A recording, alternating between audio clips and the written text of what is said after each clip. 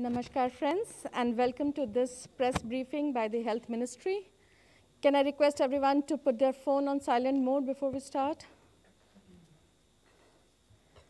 To brief us more on the latest issues related with COVID, we have today with us Dr. V.K. Paulji from Niti Aayog, DG ICMR, Dr. Balram Bhargavji, Joint Secretary, Ministry of Health, Sri Lav Agarwalji.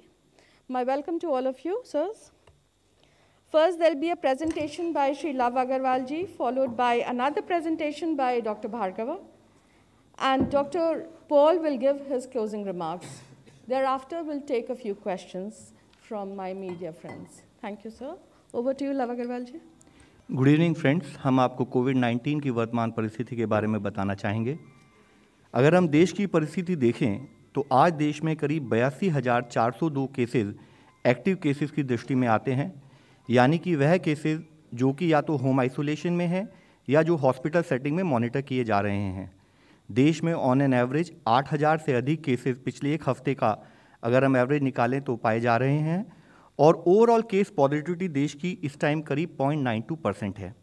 यहाँ अगर हम further data को analyse करें तो पाते हैं कि पिछले 24 घंटों में देश में टोटल तेरह हज़ार एक सौ चौवन केसेज नोट किए गए हैं।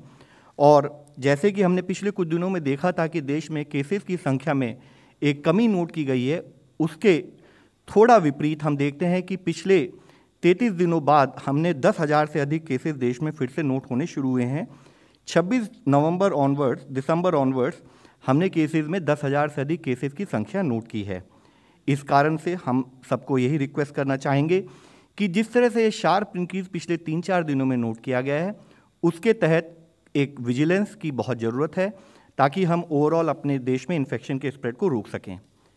अगर हम देश में एक्टिव केसेस की एनालिसिस करें तो हम पाते हैं कि केरला में करीब पच्चीस पॉइंट छः छः प्रतिशत केसेज हैं और महाराष्ट्र में इक्कीस पॉइंट थ्री प्रतिशत केसेज एक्टिव केसेज हैं। यानी कि यह वह दो स्टेट हैं जहाँ पर दस हज़ार से अधिक संख्या में एक्टिव केसेज हैं। तीन स्टेट ऐसी हैं जहाँ पर कि पाँच हज़ार से दस हज़ार के बीच में एक्टिव केसेज हैं। और इकतीस स्टेट अभी भी देश में ऐसी है जहाँ पर कि पाँच हज़ार से कम संख्या में एक्टिव केसेज नोट किए जा रहे हैं। ओवरऑल देश में अगर हम इन्फेक्शन के स्प्रेड को देखें तो पाते हैं कि अभी भी 22 डिस्ट्रिक्ट ज़िले, स्टेट्स में ऐसे हैं, सात स्टेट्स में, जहाँ पर कि अधिक केस पॉजिटिविटी नोट की जा रही है। अधिक case positivity is a is a fact कि वहाँ पर इन्फेक्शन का स्प्रेड कुछ अधिक संख्या में नोट किया जा रहा है, जिसमें मुख्यतः आठ ज़िले ऐसे हैं जहाँ पर कि दस प्रतिशत से भी अधिक वीकली पॉजिटिविटी नोट की गई है, जिसमें छः ज़िले मिजोरम से हैं, एक अरुणाचल प्रदेश से और एक नया जिला वेस्ट बंगाल में कोलकाता, जहाँ पर कि पिछले हफ़्ते 12.5 प्रतिशत ओवरऑल केस पॉजिटिविटी नोट की गई है। इसी के साथ ही 14 ज़िले ऐसे हैं जहाँ पर कि केस पॉजिटिविटी पाँच से दस प्रतिशत के बीच में है, जिसमें मुख्यतः केरला से छः ज़िले, मिजोरम से चार ज़िले, अरुणाचल प्रदेश से एक डिस्ट्रिक्ट असम, झारखंड और मणिपुर से एक डिस्ट्रिक्ट ईच है। हम स्टेट से संपर्क बनाए हुए हैं और स्टेट को गाइडेंस देते हुए कि किस तरह से हम वहाँ पर इन्फेक्शन के स्प्रेड को कंट्रोल करें, उसके विषय में कार्य कर रहे हैं। वाइल ओवरऑल हमने देखा है कि देश में अभी भी तेरह हज़ार के करीब केसेज आ रहे हैं, फिर भी कुछ एरियाज़ ऑफ़ कंसर्न इमर्ज होते हुए दिख रहे हैं, जो हम आप लोगों के सामने रखना चाहेंगे। जिसमें मुख्यतः अगर हम देखें तो अगर आप देखें कि महाराष्ट्र में 9 दिसंबर के हफ़्ते में ओवरऑल देश की, वहाँ की स्टेट की केस पॉजिटिविटी 0.76 परसेंट थी।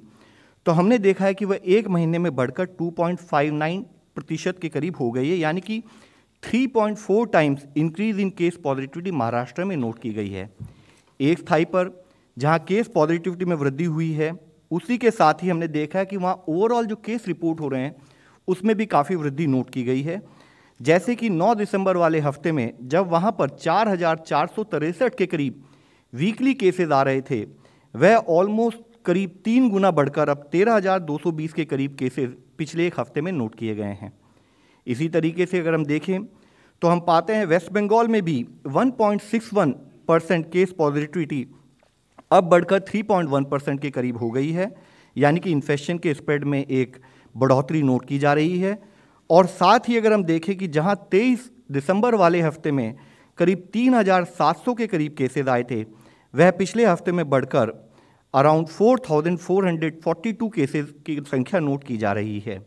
इसी तरह से अगर हम केरला में देखें तो पिछले हफ़्ते जहाँ वहाँ पर केस पॉजिटिविटी 0.58 परसेंट थी उसमें भी एक बढ़ोतरी 0.75 परसेंट के करीब पिछले एक हफ़्ते में नोट की गई है। और इसी के साथ ही केसेस की संख्या में भी एक राइजिंग ट्रेंड नोट किया जा रहा है। दिल्ली का केस अगर हम एनालाइज करें तो हम पाते हैं कि जहाँ दिल्ली में एक महीने पहले करीब 0.11 परसेंट केस पॉजिटिविटी थी। वह बढ़कर अब करीब एक प्रतिशत के करीब हो गई है। और साथ ही एक पैरेलल विषय के रूप में हमने देखा कि जहाँ 9 दिसंबर तक 541 केसेस आ रहे थे, वह ऑलमोस्ट 4.7 टाइम्स बढ़ते हुए अब दो केसेस पिछले एक हफ़्ते में नोट किए गए हैं। इसी तरह अगर हम देखें कर्नाटका में, पिछले एक हफ़्ते में जहाँ केस पॉजिटिविटी 0.31 परसेंट थी उसमें बढ़कर 0.52 परसेंट हो गई है। इसी तरह से अगर 2014 केसेस अगर 23 दिसंबर वाले सप्ताह में नोट किए गए तो वह भी बढ़कर 2533 के करीब केसेस पिछले एक हफ़्ते में नोट किए गए हैं। गुजरात में भी इसी तरीके से 0.19 परसेंट केस पॉजिटिविटी बढ़कर अब 0.54 परसेंट हो गई है। और अगर पिछले एक हफ़्ते के डेटा को एनालाइज करें तो देखते हैं कि जहाँ चार केसेस एक हफ़्ते में आ रहे थे वह बढ़कर 3.4 टाइम्स यानी कि 1711 केसेस पिछले एक हफ़्ते में नोट किए गए हैं। हम यह विषय आप सबके सामने इसलिए बताना चाहते हैं कि अगर हम जोग्राफिकल स्प्रेड देखें तो ओवरऑल देश के अगर नंबर आज भी हमें लिमिटेड दिखाई देते हैं, फिर भी कुछ इमर्जिंग एरियाज़ ऑफ़ कंसर्न है और ज़रूरत है कि उन एरियाज़ में हम स्प्रेड ऑफ़ इन्फेक्शन को रोकने के लिए रिक्वायर्ड कार्य करते रहें। इसी तरीके से हमने देखा है कि कुछ ज़िलों में भी sudden increase in cases note किया गया है। जैसे मुख्यतः मुंबई, महाराष्ट्र में। अगर आप देखें तो 7 दिसंबर से लेकर 28 दिसंबर वाले हफ़्ते, यानी कि चार हफ्तों में केसेस की संख्या एक हज़ार तीन सौ बानवे से बढ़कर छः केसेस हुई है, यानी कि approximately 4.8 time increase in cases Pune में भी इसी तरह से काफ़ी अधिक संख्या में केसेस और एक राइजिंग ट्रेंड नोट किया जा रहा है। महाराष्ट्र में सिमिलर वे में अगर आप देखें तो थाने में भी राइजिंग ट्रेंड नोट किया जा रहा है। बेंगलुरु, अर्बन में कंटिन्यूड बेसिस पर राइजिंग ट्रेंड दिख रहा है। चेन्नई में भी इसी तरीके से एक केसेस की बजाय 1720 केसेस या एक हफ़्ते में वृद्धि नोट की गई है। मुंबई सबर्बन हो, गुड़गांव हो, अहमदाबाद हो या नासिक हो, इन सभी जिलों में भी एक rising trend in cases note किया जा रहा है। हम इन स्टेट से संपर्क किए हुए हैं और required advice in terms of कि क्या एक्शन लिया जाए फ़ील्ड पर कि इन्फेक्शन के स्प्रेड को रोका जाए, उस पर कार्य किया जा रहा है। यहाँ जब हम देश की परिस्थिति के बारे में बात कर रहे हैं, आज ज़रूरी है कि हम ग्लोबल परिस्थिति को भी समझें और उसमें हम आप लोगों के सामने बताना चाहेंगे कि आज पूरी दुनिया में करीब दो करोड़ अड़सठ लाख के करीब एक्टिव केसेस हैं और ऑन एन एवरेज पिछले एक हफ़्ते में दस लाख से अधिक केसेस पूरी दुनिया में नोट किए जा रहे हैं। और उसमें भी सबसे मुख्य इशू यह है कि अगर आप देखें कि जो सर्जेज पूरी दुनिया में नोट की गई हैं तो जहाँ एक समय सर्ज में आठ लाख बानवे हज़ार के करीब केसेस थे, जो कि हमने जनवरी 2021 में नोट किया। इसी तरह अप्रैल के माह में 9 लाख के करीब केसेस एक सर्ज के रूप में नोट किया गया। और 6 अगस्त के समय पर जहाँ आठ लाख बीस हज़ार के करीब cases on an average daily basis पर रिपोर्ट होते थे, उनको नोट किया गया। तो अगर पिछले 24 घंटों का डेटा हम वर्ल्ड लेवल पर एनालाइज करें तो एक एरिया ऑफ़ कंसर्न इमर्ज होकर आता है कि करीब 17 लाख सत्रह हज़ार चार सौ बयासी केसेज पूरी दुनिया में रिपोर्ट हुए हैं। और इसको फर्दर अगर हम डिटेल में एनालाइज करें तो देखते हैं कि जिसमें चार देश ऐसे हैं जो कि अराउंड 58 परसेंट ऑफ़ जो दुनिया के सारे कोविड केसेस आ रहे हैं पिछले हफ़्ते में, वो उन चार देशों से आ रहे हैं, जिसमें मुख्यतः यूनाइटेड स्टेट्स से अराउंड 28.8 परसेंट यूके से 12.5 परसेंट फ्रांस से 10.1 परसेंट और स्पेन से 6.7 परसेंट यहाँ मुख्य विषय यह है कि नॉट ओनली यही कंट्रीज़ हैं ओवरऑल हर कॉन्टिनेंट में कई कंट्रीज़ के अंदर एक rising trend in cases note किया जा रहा है। जैसे अगर हम यूनाइटेड स्टेट्स का डेटा एनालाइज करें तो देखते हैं कि जहाँ एक लाख इक्कीस हज़ार केसेज एक हफ़्ते में आ रहे थे, वह चार हफ़्ते होते होते तीन लाख के करीब पहुँच गया है। और जो एक मुख्य विषय है कि अगर हम पिछले 24 घंटे का यूनाइटेड स्टेट्स का डेटा देखें तो हम पाते हैं कि वहाँ पर पाँच लाख बारह हज़ार केसेज प्रति रोज की संख्या से रिपोर्ट किए गए हैं। यूनाइटेड किंगडम में भी approximately 2.7 time increase in cases और हम देखें कि ऑन एन एवरेज एक लाख तीस हज़ार के करीब केसेस पिछले एक हफ़्ते में नोट किए गए और पिछले 24 घंटे का डेटा देखें तो further area of concern is कि वहाँ पर तीन लाख उन्नीस हज़ार केसेज रिपोर्ट हुए हैं। इसी तरह फ्रांस में भी केसेज 2.25 टाइम्स बढ़े हैं पिछले एक महीने के अंदर। और दो लाख से अधिक केसेस पिछले 24 घंटे में फ्रांस में नोट किए गए हैं। इसी तरह अगर हम स्पेन का डेटा देखें तो पाते हैं कि वहाँ पर 6.7 टाइम्स इंक्रीज इन केसेस पिछले एक महीने में नोट किया गया है और ओवरऑल 69,000 केसेस इस पर्टिकुलर कंट्री में नोट किए जा रहे हैं। यह विषय हम आप सबके सामने इसलिए लाना चाहते हैं कि जिस तरह से वायरस का इन्फेक्शन का स्प्रेड हम पूरी दुनिया में नोट कर रहे हैं ज़रूरी है कि इंडिया जो अभी तक हमारी सिचुएशन है उसको समझते हुए हमें फ़ील्ड लेवल पर क्या प्रिकॉशनरी स्टेप्स लेने हैं, हमें इन्फेक्शन स्प्रेड को कैसे रोकना है, उस पर हमें कंटिन्यूड मिशन मोड पर कार्य करने की ज़रूरत है। इसी तरीके से हम सबको पता है कि पिछले कुछ एक माह से हमारे सामने नए चैलेंज के रूप में एक new variant of concern Omicron भी डिटेक्ट किया गया है, जिसकी अगर ओवरऑल दुनिया की परिस्थिति देखें तो एक माह के अंदर ही करीब 121 देशों में तीन लाख तीस हज़ार से अधिक ओमिक्रोन के केसेस नोट किए गए हैं। और टोटल 59 डेथ अब तक रिपोर्ट की गई हैं, जिसमें से मुख्यतः डेथ करीब तिरपन डेथ यूनाइटेड किंगडम एक यूनाइटेड स्टेट्स चार जर्मनी और एक ऑस्ट्रेलिया में रिपोर्ट की गई है। और अधिक केसेस की संख्या को अगर हम एनालाइज करें तो पाते हैं कि अधिकतम cases United Kingdom Denmark United States Germany Norway और कनाडा में पाए जा रहे हैं। इसी के साथ ही एक और एरिया ऑफ़ कंसर्न हम आप लोगों के सामने दिखाएँगे। इसमें यहाँ देखते हैं तो हम पाते हैं कि ओमिक्रोन, कई देशों में अब जो भी जीनोम सीक्वेंसिंग हो रही है, वहाँ पर ओमिक्रोन की परिस्थिति, यानी कि जितने वहाँ पर जीनोम सीक्वेंसिंग किए जा रहे हैं, उसमें कितने परसेंट सैंपल ओमिक्रोन पॉजिटिव पाए जा रहे हैं, उस डेटा को अगर हम देखें तो पाते हैं कि साउथ अफ्रीका में 96 परसेंट केसेज ओमिक्रोन पॉजिटिव पाए जा रहे हैं, यूनाइटेड किंगडम में 59 परसेंट इसी तरह यूनाइटेड स्टेट्स में 41 परसेंट और फ्रांस में करीब 11 प्रतिशत ओमिक्रोन पॉजिटिव केसेस पाए जा रहे हैं और साथ ही हम देखते हैं कि जहाँ एक तरफ़ एक पॉजिटिव ट्रेंड के रूप में साउथ अफ्रीका में केसेस में एक सर्च के बाद फिर से केसेस में कमी नोट की जा रही है। ऐसा लगता है कि केसेस की संख्या में एक विजिबल कमी आई है, लेकिन उसी के साथ ही और दूसरे देश है, जैसे इससे पहले हमने आपको बताया है, चाहे वो यूके हो, यूएसए हो और फ्रांस हो, वहाँ पर अभी भी एक continued surge in cases note किया जा रहा है। डब्ल्यूएचओ ने ओमिक्रोन के बारे में जो अपना पिछला अपडेट 28 दिसंबर को दिया, उसमें उन्होंने बताया है कि ओमिक्रोन जो वेरिएंट है, उसमें पाया जा रहा है कि it has growth advantage over delta variant और इसका डबलिंग टाइम दो से तीन दिन है और साथ ही ये देखा जा रहा है कि यह पर्टिकुलर वेरिएंट अब कई देशों में एक डोमिनेंट कोविड का वेरिएंट बन के हमारे सामने आ रहा है। जैसे कि हमने इससे पिछली स्लाइड में आपको दिखाया है यूनाइटेड किंगडम हो यूनाइटेड स्टेट्स ऑफ़ अमेरिका हो उन देशों में यह बाकी वेरिएंट को रिप्लेस कर कर मेजर डोमिनेंट वेरिएंट के रूप में उभर कर सामने आ रहा है। इसी के साथ ही यूनाइटेड किंगडम साउथ अफ्रीका और डेनमार्क से जो इनिशियल डेटा आया है, उससे यह पता लगता है कि ओमिक्रोन वेरिएंट में एक रिड्यूस रिस्क ऑफ़ हॉस्पिटलाइजेशन है कंपेयर टू डेल्टा वेरिएंट लेकिन साथ में डब्ल्यूएचओ ने यह भी कहा है कि उसकी डिज़ीज़ की सीवियरिटी या उससे संबंधित management in terms of oxygen ventilation की रिक्वायरमेंट यह डेटा अभी फर्दर आने की ज़रूरत है। इसको फर्दर एनालाइज करके ही एक निर्णय पर पहुँचा जा सकता है। डब्ल्यूएचओ ने यह भी बताया है कि चाहे कॉर्टिकोस्टीरॉइड्स हों या इंटरल्यूकिन सिक्स रिसेप्टर ब्लॉकर्स हों, यह अभी भी ओमिक्रोन के लिए कंफर्टेबल पाए जाते हैं। इनसे हम मैनेज कर सकते हैं। इनसे ये अभी भी इफ़ेक्टिव हैं। लेकिन monoclonal antibodies may be able to less neutralise the Omicron variant यह एक प्रिलिमिनरी डेटा के द्वारा पता लगता है। साथ ही डब्ल्यू ने बताया है कि चाहे पीसीआर टेस्ट हो, चाहे हमारे रैपिड एंटीजन टेस्ट हों, वह अभी भी ओमिक्रोन वेरिएंट के लिए यूज़ किए जा सकते हैं।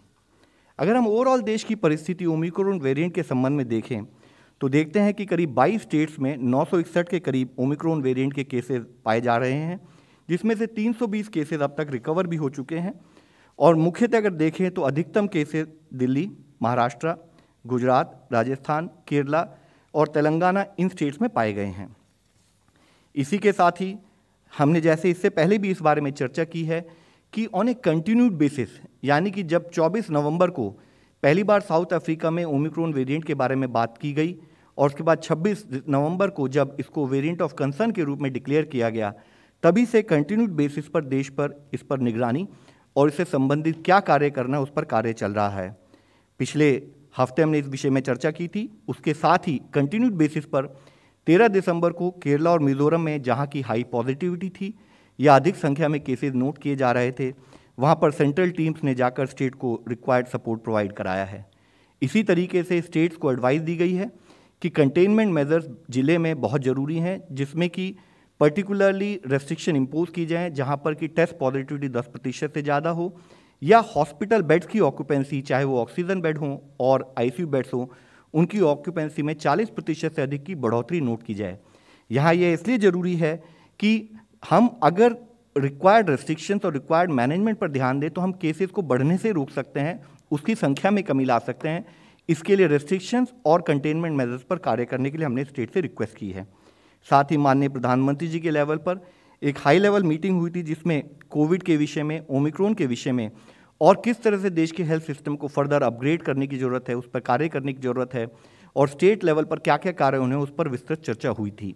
इसी के साथ ही सेक्रेटरी हेल्थ के लेवल पर सारी स्टेट्स के साथ वीसी करते हुए, उनको भी क्या क्या हमें हेल्थ इंफ्रास्ट्रक्चर रिलेटेड कार्य करने हैं, उस विषय में अवगत कराया गया है।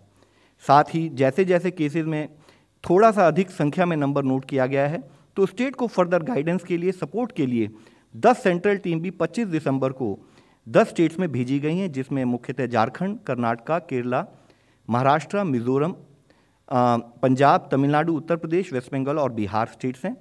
और साथ ही मिनिस्ट्री ऑफ़ हेल्थ ने अपनी जो 27 दिसंबर की लास्ट एडवाइजरी इशू की है, उसमें उन्होंने बताया है कि जो मिनिस्ट्री ऑफ़ हेल्थ ने रिक्वायर्ड मैनेजमेंट से रिलेटेड एक नॉर्मेटिव फ्रेमवर्क की बात की है, उसको एक पकड़बंदी के तरीके से फ़ील्ड लेवल पर इम्प्लीमेंट किया जाए।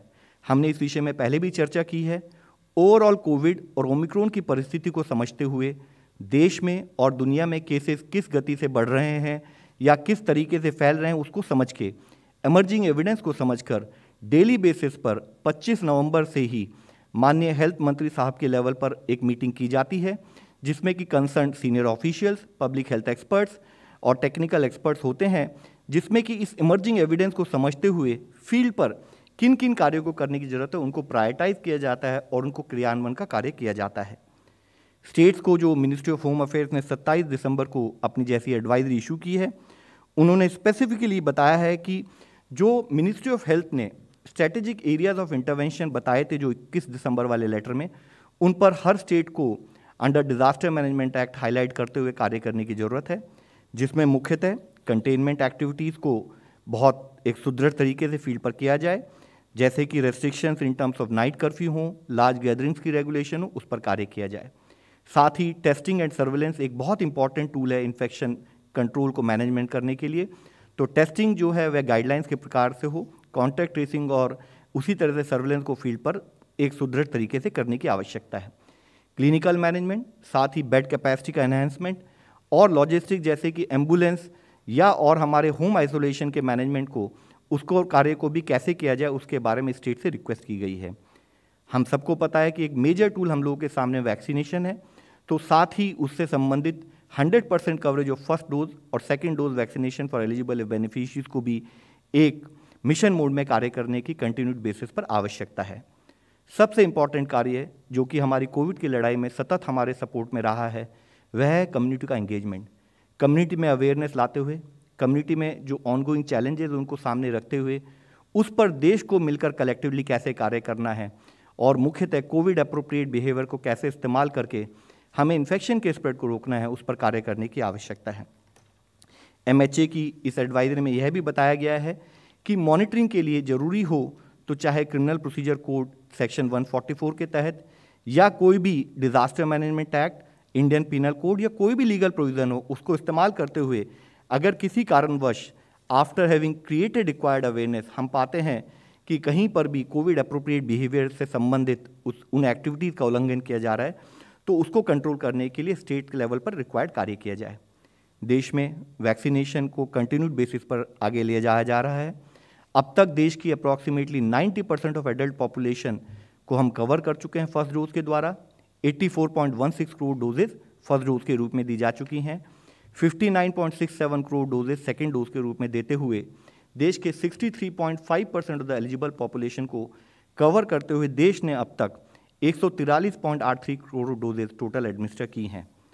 हमारे फ़ील्ड लेवल जो वर्कर्स हैं, उनके कंटिन्यूड एफर्ट्स के चलते हम लोग अब 68 लाख के करीब वैक्सीन डोजेज प्रति रोज एडमिनिस्टर कर रहे हैं।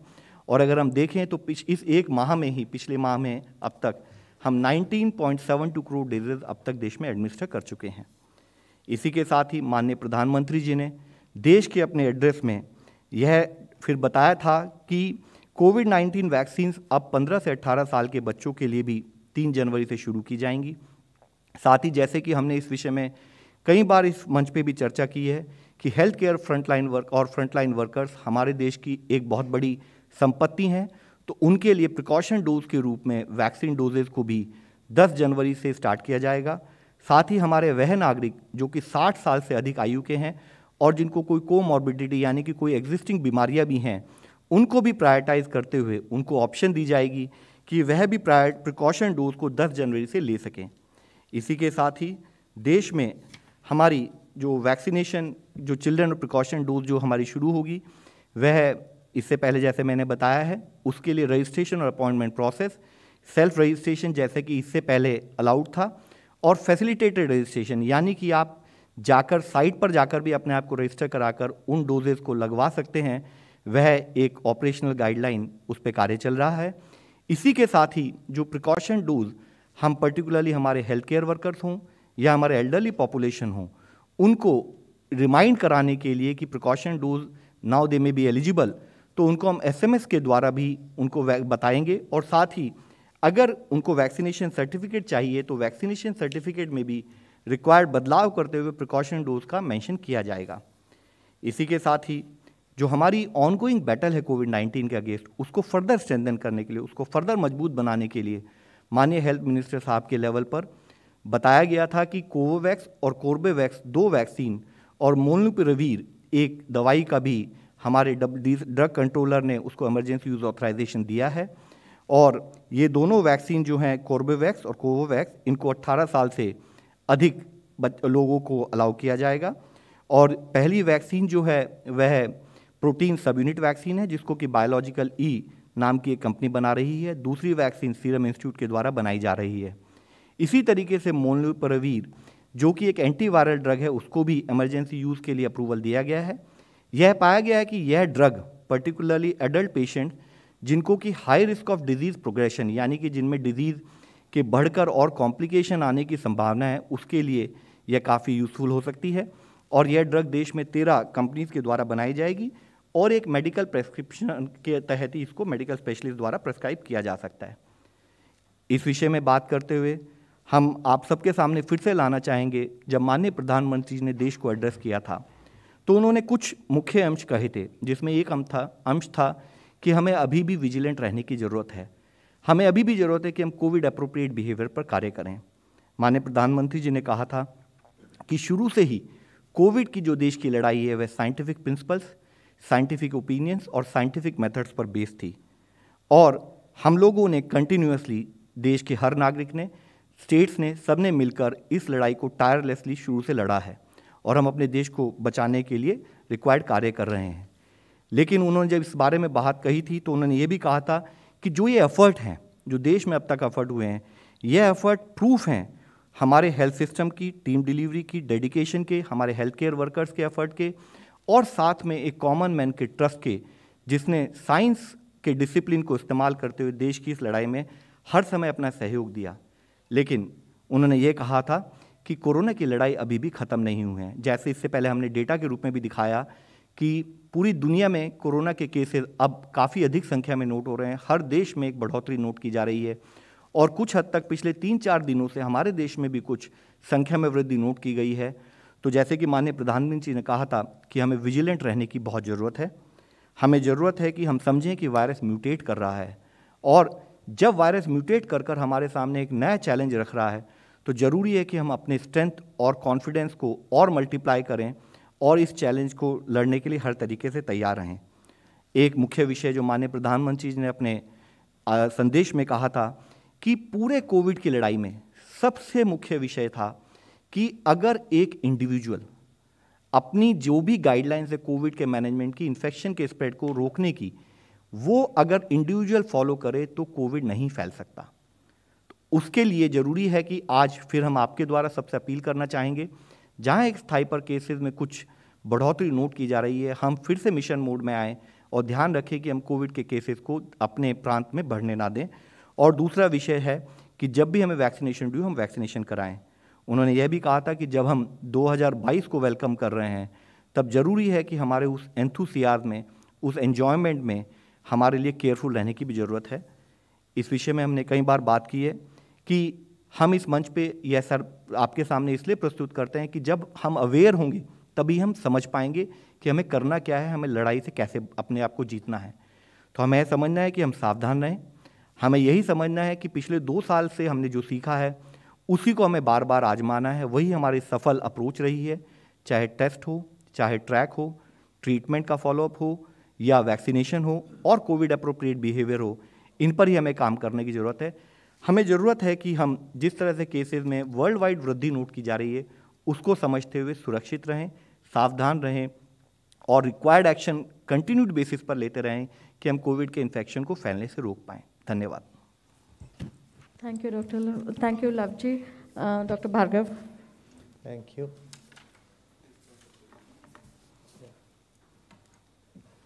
So can we have the presentation? Yeah. Next So uh, now the purpose of these five, six slides today is to up- the purpose of, okay, the purpose of this presentation today is to apprise you of COVID immunity. First of all, how do we get it? How we have got it? Either after an infection or after a vaccination. So the question remains how long does that last? And that is what we will put before you in a scientific perspective. Now we know the whole virus SARS CoV infects an individual in natural settings. This virus elicits three kinds of responses. One is antibody mediated, the second is cell mediated immunity, and then there is immunological memory. And measurement of antibody titer alone does not capture the entire protection. So that is very clear. However, it is well known, and we will be talking about some of that data, the durability of immunity post infection persists for about nine months. So if you get an infection for nine months, you are generally protected. And what is the evidence? The evidence is the following, and this is global evidence. Immunological memory for SARS-CoV lasts for more than eight months after natural infection. This is from USA, published in Science. Then there is antibody and cellular response more than nine months after infection from China. Then longitudinal investigations in USA of multiple studies have shown that the antibody responses persist for more than 13 months post-infection. And the systematic review of 10 studies from Israel, England, Denmark, USA, Austria, and Italy have that more than 90% reduction in reinfection up to 10 months. So you're protected for up to 10 months. That is the so uh, 8 to 10 months, 8 to 13 months. That is the general. So so that is why we like to say that up to nine months and take a slightly conservative estimate of that. And that is what is the evidence from India? There are three studies, two from ICMR and one from Bombay, on 284 patients, on 755 patients, and 244 that it persists for up to 8 months, 7 months, and 6 months. And these are all published data from infection that occurred in 2020, 2021, and that has been followed up for 8 to 9 months, and, and that is where we stand. So 90% is at least up to 8 months. Now, this is the immunity that I talked about provided by a natural infection lasting up to 8 to 13 months and, and most probably, so we've taken a conservative of 9 months. Then vaccination can provide immunity and majority of Indians have received either of the two vaccines. And we know the two vaccines, we will talk about them. Some vaccinated individuals had prior symptomatic infection and some vaccinated individuals had prior asymptomatic infection. That is why, if you look at the seroprevalence, that was 67% in June, July, and, uh, the, and in Delhi, they'd come up to about 90%. So, some of them were asymptomatic. So, in essence, what is the summary of this point I want to emphasize is that multiple exposure to the virus has virus antigen has happened, whether it be through the vaccine or through infection or through contact. And the durability of this immunity also persists for up to or more than nine months. And what is the evidence that we have, scientific evidence, for this immunity to persist for up to nine months? There are global and Indian evidence. So there is a meta regression analysis on uh, four WHO emergency licensed uh, vaccines, and one of them was uh, AstraZeneca vaccine, that more than 90% uh, uh, against severe disease for more than six months in all ages across the board. This was a huge meta-regression. And more other important point is recovered and vaccinated, that is hybrid immunity, that is people who have recovered after an infection and have been vaccinated, or vaccinated and then also had disease and recovered. So that is called hybrid immunity. And those bounce a slightly stronger response and last slightly longer. And this robust antibody titers after second dose may be more than six months. That is published in a very important journal called the Nature. Now, what is the evidence from India? So we have three um, studies, and there are much. Uh, there are a few more. I've just taken out the three key ones. One is from Calcutta, the other is from Kerala, and the third is from Chennai. And they have looked at uh, presence of persistence of cell-mediated immunity is 10 months, both Covishield and Covaxin. This is from Calcutta, after a vaccination alone.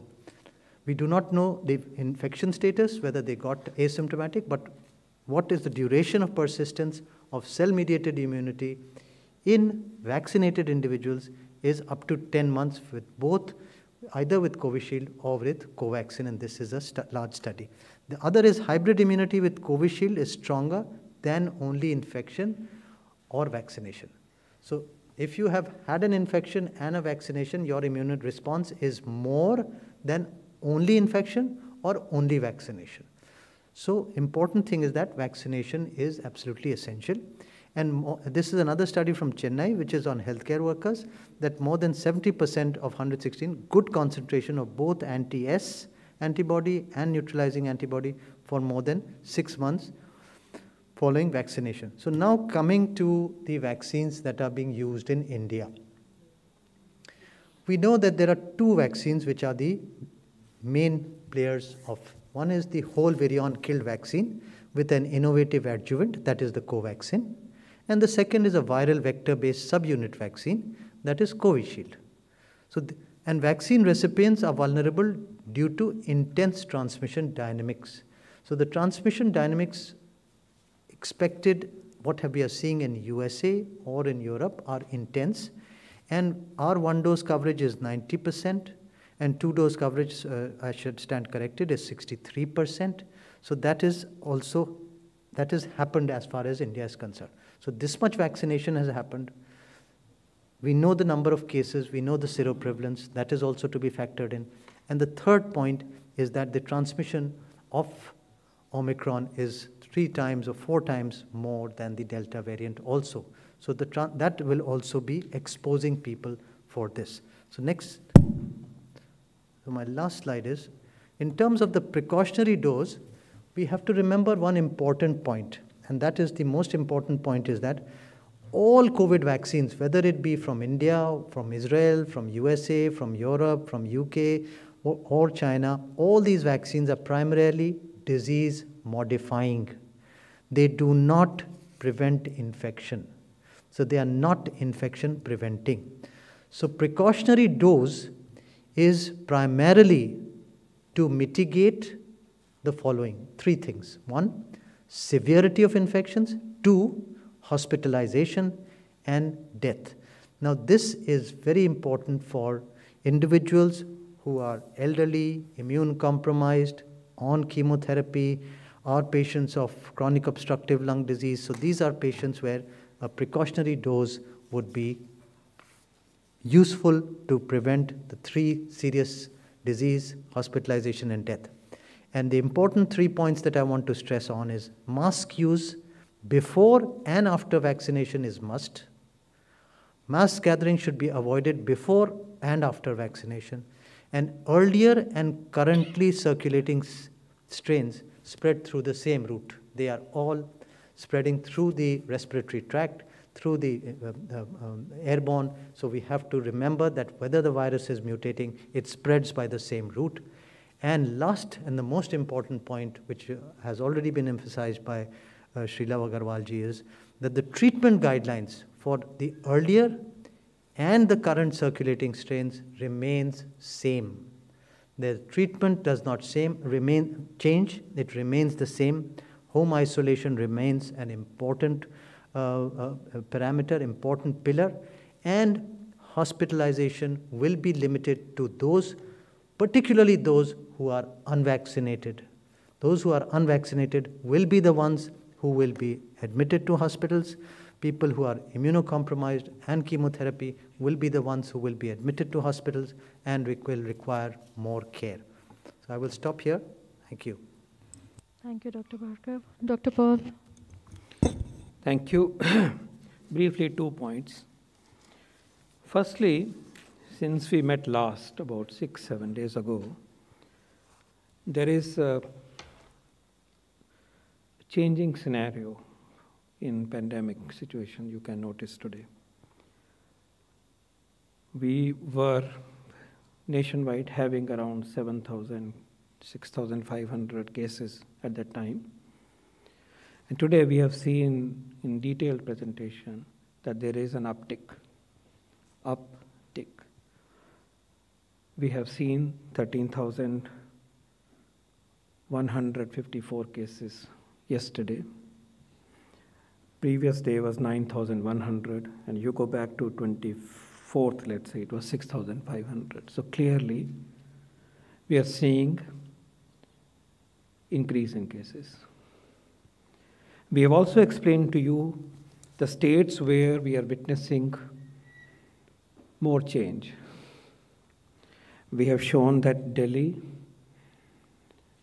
has multiplied the number of cases on a daily basis. Maharashtra, in particular Mumbai, you are aware. Punjab, Haryana, Jharkhand, Chhattisgarh, West Bengal, Gujarat. So several states are showing a trend which is going up. We believe on the scientific basis that R naught is 1.22 from the available data in public domain. So the cases are now enlarging, not shrinking. So far, the deaths are stable. Deaths are in the range of 260, 250, below 300 typically, and that remains stable, which is reassuring as of now. As the scenario emerges, we believe what we are witnessing could be part of the global rise in cases pushed by the Omicron virus in the world. We believe, and we are updating you on the available information, which takes a little extra time for us to recognize and identify the, the variant. But we believe that this push is a part of the global upsurge which is related to Omicron, but we'll continue to update you on the specifics of this. As has been communicated, we are already aware that this variant is highly transmissible, and that perhaps explains the speed with which it is rising in the world. As we have explained, the severity issues are unsettled, and we quoted to you the WHO statement severity. Hopefully mild, but cannot be taken for granted. This is work in progress. These are important facts for us to know. So, it's a reality check today, and we would urge you, first and foremost, there is no need to panic because as a nation we are prepared, and a nation we have experience, and we have the massive shield of very high coverage of the vaccine. I repeat, no need to panic.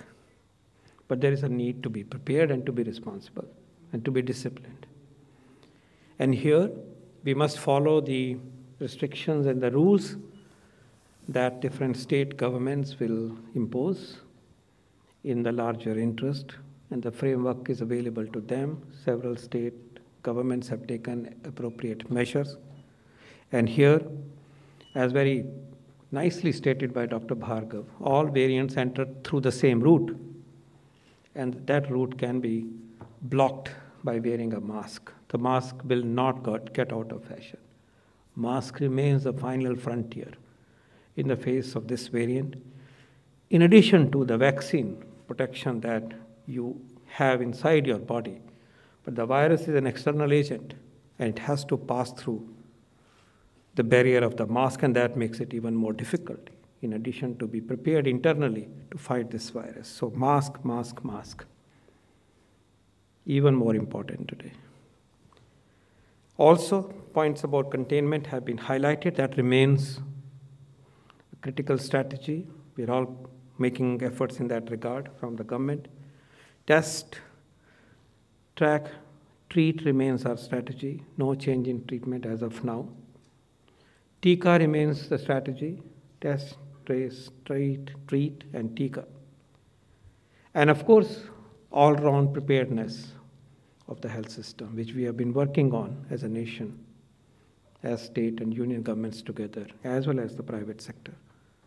That remains an important part of our effort. The second point is in relation to positive developments in regard to the vaccination program.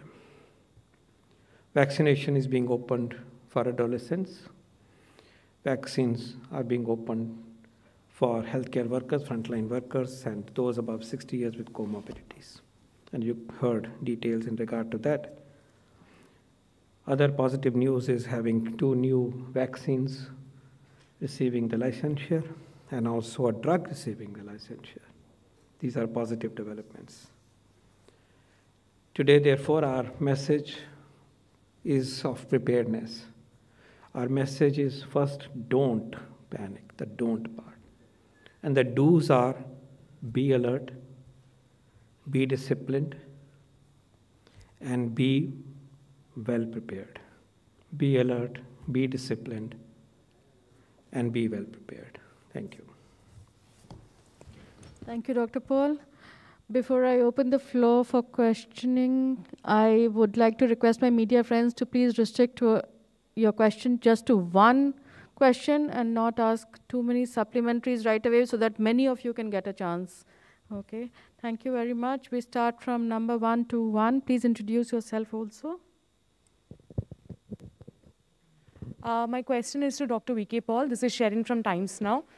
Uh, so we are seeing that a number of rallies are happening, political rallies that are happening, and also we are seeing that politicians are flouting rules, even uh, the basic rule of putting mask. What is the health ministry really doing about this? Election Commission has in fact said that today they are going ahead uh, because all the parties have in fact had a meeting and they have said that there should be election. So elections are happening, but uh, clearly with the number of cases that are rising, uh, we are seeing that the politicians themselves are flouting the rules. I have explained to you, and Dr. Uh, Shri Love Agarwalji has explained to you, to you the framework of uh, uh, responsibilities of the people, expectations of all of us, from all of us, for ensuring suppression of chains of transmission as well as protection. That applies to all of us.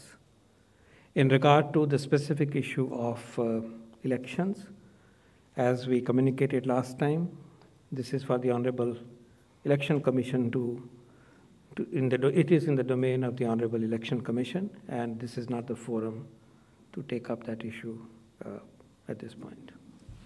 Number 58, please introduce yourself.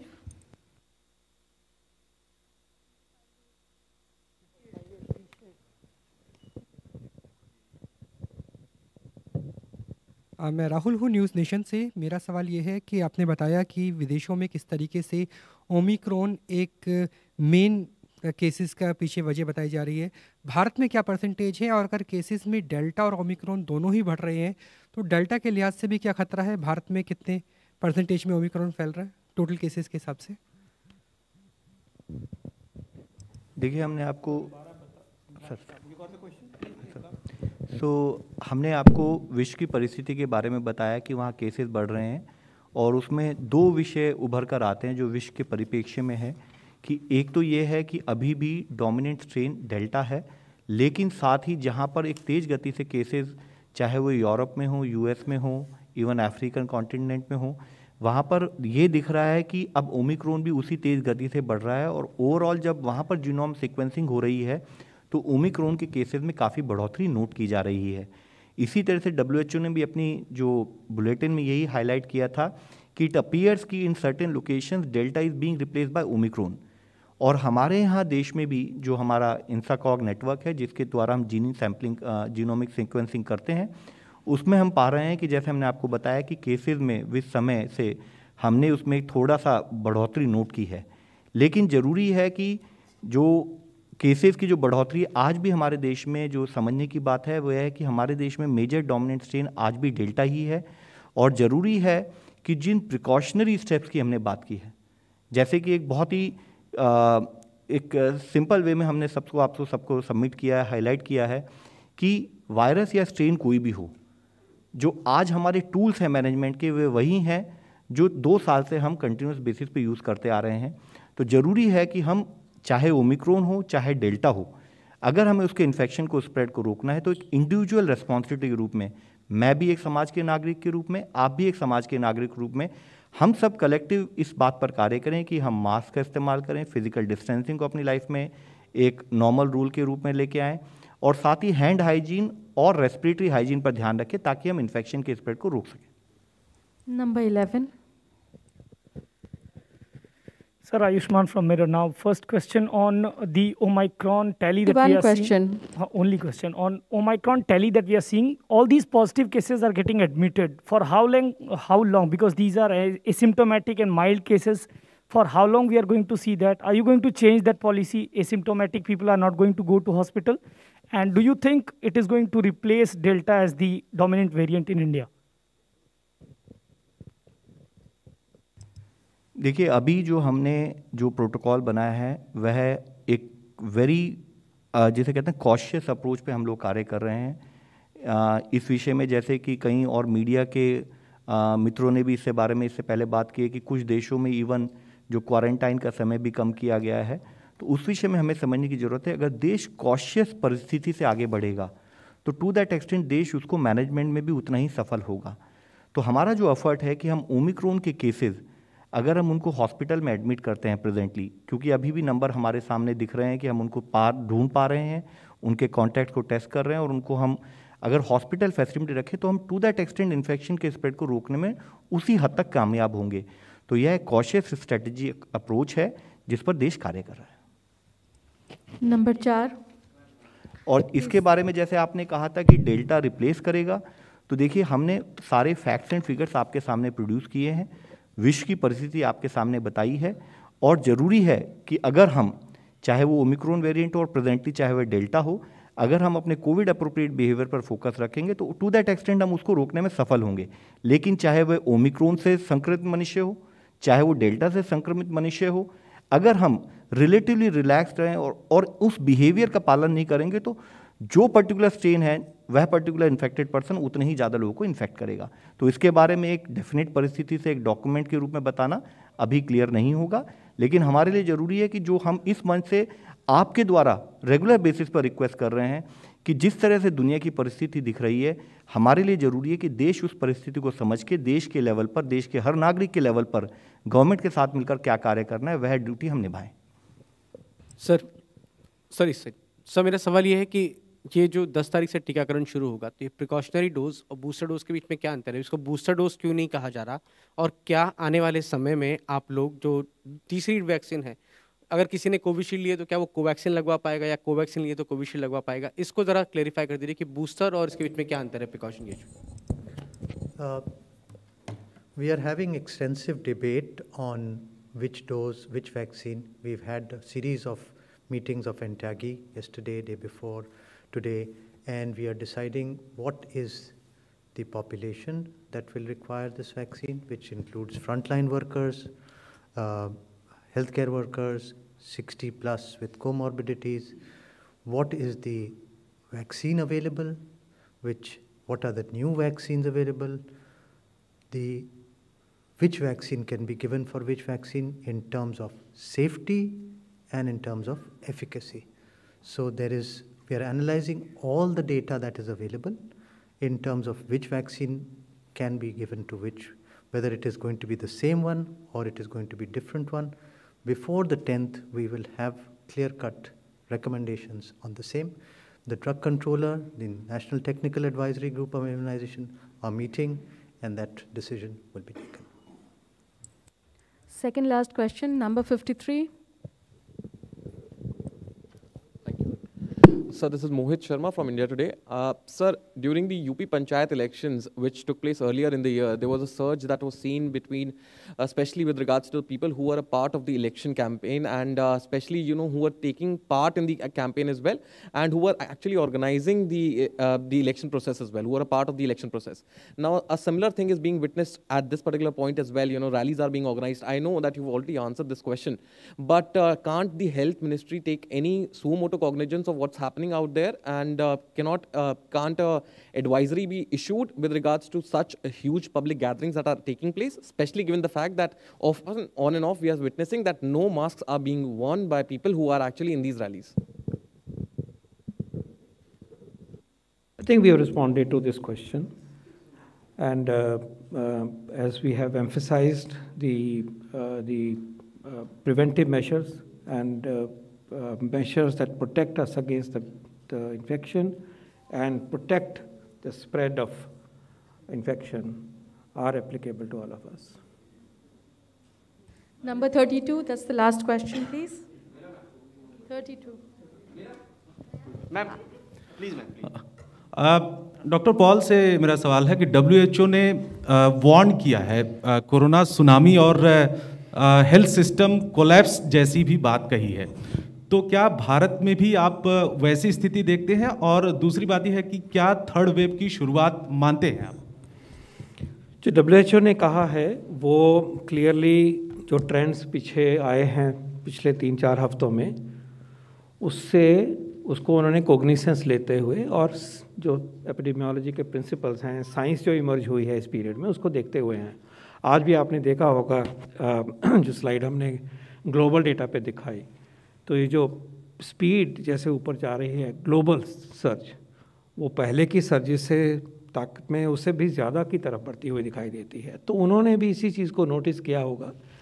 और and knowing the behaviour of the virus so there is a warning for the entire world that we are the entire world was still facing the Delta we had experience Delta earlier but several parts of the world had not experienced delta, which had its own issues.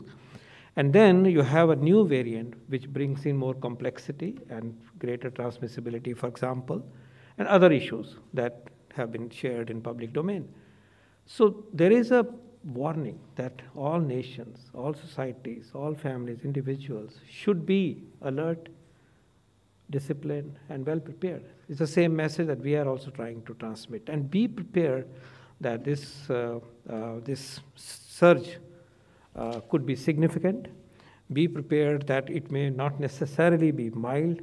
Be prepared that the health system and facilities are ready to the maximum possible level. Those are the messages we receive and hear from WHO, and these are the messages we have tried to transmit to the nation. So just one more question, if it is okay, 175. Doctor Paul, मेरा आपसे सवाल है कि जब पहली लहर आई तो अंठानवे हज़ार के आसपास मामले आए। वो गिरकर नौ हज़ार के आसपास आए। नौ हज़ार से उठकर मामला फिर चार लाख चौदह हज़ार या पंद्रह हज़ार के आसपास पहुँचा। फिर ये मामला गिरकर छः हज़ार से अब तेरह हज़ार पहुँचा। तो क्या इसको तीसरी लहर हम मानेंगे? देखिए, इमर्जिंग सिचुएशन है। आप जैसे आर्टिकुलेट कर रहे हैं तो फैक्ट्स हैं, जैसे हमने दिखाया यहाँ पे। ये कहाँ लेके जाएगी हमें? कहाँ ये पहुँचनी है, कहाँ इसको रोकना है, ये सब हमारे हाथ में है। और हमें उसके लिए, उसको रोकने के लिए पूरी कोशिश करनी है। इसको लिए तैयारी रखनी है, लेकिन कोशिश यही होगी कि इसको हम इसी टाइम पे, इसी जगह ही दबा के रखें।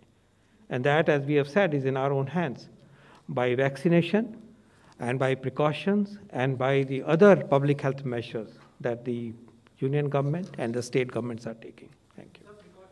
Thank you. Thank you so much. Thank you. With this, we समझा दिया finish. डॉक्टर साहब ने we इतने come- अच्छी तरह से We come to the end of the press conference.